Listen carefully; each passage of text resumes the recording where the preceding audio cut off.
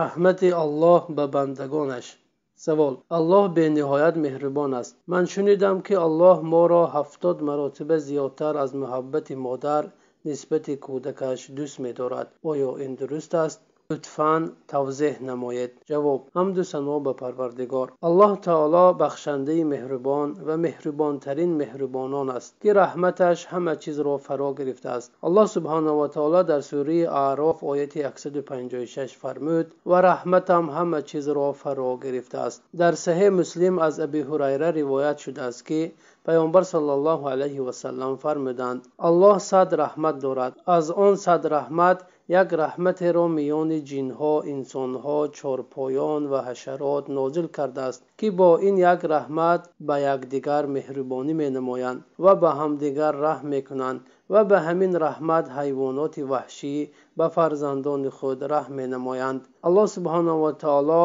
наваду нӯҳ раҳмати худро нигаҳ доштааст ки ба он наваду нӯҳ раҳмат дар рӯзи қиёмат бандагони худро раҳм менамояд ҳадис бо ривояти имом муслим. Аз умар ибни хаттоб разиаллоҳу анҳу ривоят аст ки мегӯяд асиронеро назди расуллоҳ саллаллоҳу алайҳи васаллам оварданд. Зане дар миёни асирон аз ин сӯ ба он сӯ медавид. Ногаҳон кӯдакеро дар миёни асирон дид. Пас он кӯдакро ба оғӯшаш гирифта ба ӯ шир дод. Он гоҳ расуллоҳ саллаллоҳу алайҳи васаллам ба мо фармуданд. Оё ин зан фарзандашро ба оташ мепартояд? гуфтем не қасам ба аллоҳ имкон надорад чунин коре бикунад. Расулуллоҳ саллаллоҳу алайҳи васаллам фармуданд ҳамоно аллоҳ ба бандагонаш аз ин модар нисбат ба фарзандаш меҳрубонтар аст. Ҳадис бо ривояти имом бухорӣ ва муслим. Яке аз раҳмати аллоҳ бар бандагонаш ин аст ки паёмбаронро фиристод ва китобҳову шариатҳоро нозил кард. То зиндагии онҳо дар роҳи рост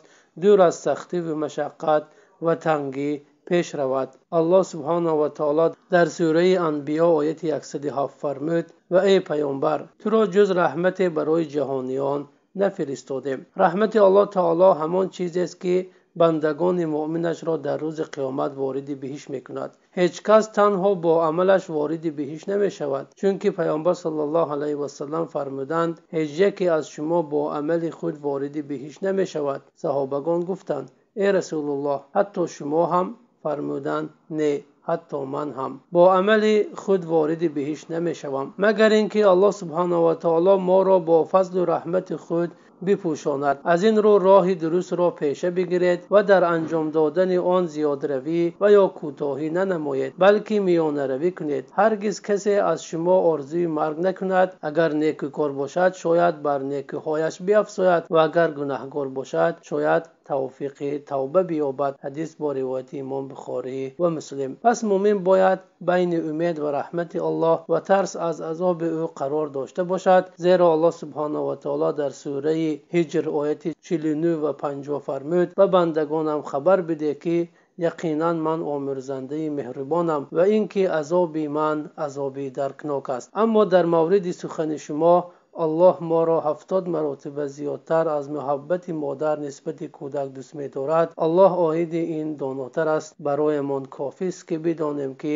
раҳмати аллоҳ ҳама чизро фаро гирифтааст парвардигоро моро бо раҳмати худ раҳм намо э меҳрубонтарини меҳрубонон